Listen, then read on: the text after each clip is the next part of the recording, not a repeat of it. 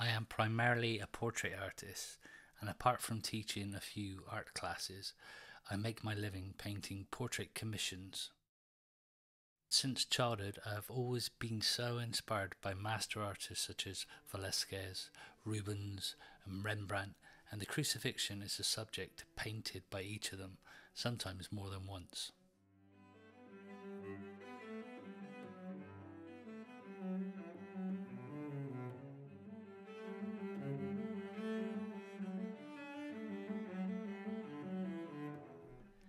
Preparation, I studied the many previous versions of Christ on the Cross, researching in as much detail as possible how my version should be depicted, from the positions and style of the nails, right down to the types of wood for the cross and sign.